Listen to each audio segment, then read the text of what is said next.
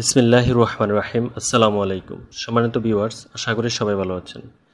Building tips Bangla tips চ্যানেলের পক্ষ থেকে আমি ইঞ্জিনিয়ার মোহাম্মদ মাসুদ রানা সবাইকে জানাচ্ছি আন্তরিক মরকবাদ বন্ধুরা, আজকে আমি হাজির হয়েছি ছোট্ট জায়গায় কম খরচে চমৎকার একটি বিল্ডিংয়ের ডিজাইন নিয়ে।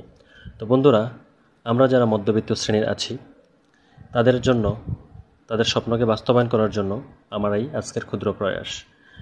আমরা যারা মধ্যবিত্ত শ্রেণি আছি, দুই রুম বা তিন রুম বাড়ি তৈরি করতে চাই কম খরচে, তারা সম্পূর্ণ ভিডিওটি মনোযোগ সহকারে দেখুন।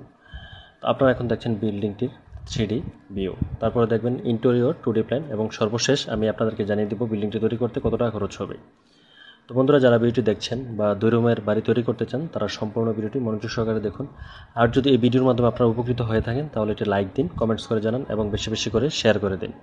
আর আমার চ্যানেল নতুন হয়ে থাকলে চ্যানেলটিকে সাবস্ক্রাইব করে পাশে থাকা আইকনটি প্রেস করে রাখুন। তো বন্ধুরা, আপনারা থ্রি ডি ভিডিও দেখতে পাচ্ছেন, এটি হচ্ছে বিল্ডিংয়ের ফ্রন্ট সাইড। আর জানালার ডিজাইনগুলো আপনারা দেখেছেন, খুব সিম্পল কিন্তু আউটলুকটা খুব চমৎকার আসতেছে। তো বন্ধুরা, এখন আমরা দেখব বিল্ডিংয়ের ইন্টেরিয়র। ইন্টেরিয়রটা দেখলে আমরা বুঝব যে আমরা এটি কীভাবে সাজিয়েছি।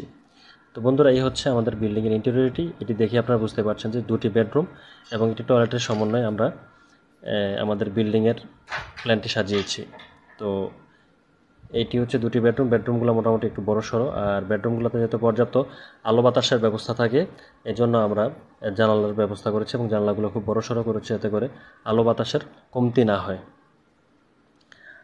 তারপরে মাঝখানে দিয়েছি একটি ছোট্ট টয়লেট যাতে করে রাত্রে আমরা বাইরে যেতে না হয়। আমাদের প্রাকৃতিক ডাকের সারাটি আমরা এখানে মিটিং নিতে পারি। এই জন্য আমরা একটি ছোট্ট টয়লেটের ব্যবস্থা করেছি।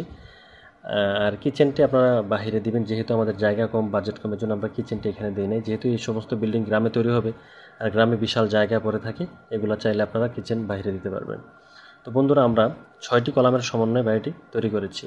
আপনারা চাইলে ব্রিক্সের উপরে করতে পারেন অথবা আরসিসি রডের রড দিয়েও বিল্ডিংটি তৈরি করে নিতে পারেন। আরসিসি করলে রেটটা আসবে একরকম, আর যদি শুধু ইটের উপরে করেন তাহলে রেটটা আরেকটু কম আসবে। তো বন্ধুরা, যারা এরকম বাড়ি তৈরি করতে চান, এখানে আমার ফোন নাম্বার দেওয়া হচ্ছে চাইলে ফোনে যোগাযোগ করতে পারেন, হোয়াটসঅ্যাপ এবং মধ্যেও যোগাযোগ করতে পারেন। আমি আবারও বলছি, আমার ভিডিওটি ভালো লেগে থাকলে একটি লাইক দিন, কমেন্টস করে জানান এবং বেশি বেশি করে শেয়ার করে দিন। তো বন্ধুরা, এই হচ্ছে বিল্ডিংয়ের two D plan, floor plan. তো এখন আমরা দেখে নেব এই বিল্ডিংটি তৈরি করতে কতটুকু জায়গা লাগবে এবং এই জায়গার দৈর্ঘ্য এবং প্রস্থ। তো এখানে আমি আপনাদেরকে স্পষ্টভাবে সবগুলো জিনিস বুঝিয়ে দিচ্ছি, দেখিয়ে দিচ্ছি। চব্বিশ ফিট জায়গার প্রস্থ আর দৈর্ঘ্য আর প্রস্থ হচ্ছে দশ ফিট, দশ ইঞ্চি।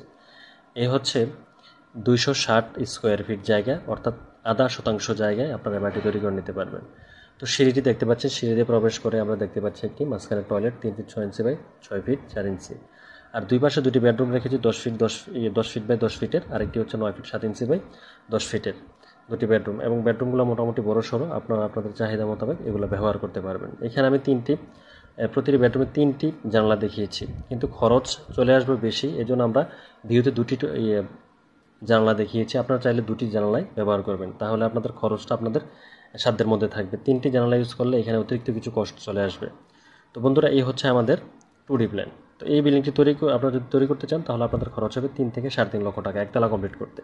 আর যদি একটু গর্জিয়াস করতে চান, তাহলে চার লক্ষ টাকার মধ্যে আপনারা বাড়ির কাজটি শেষ করে নিতে পারবেন।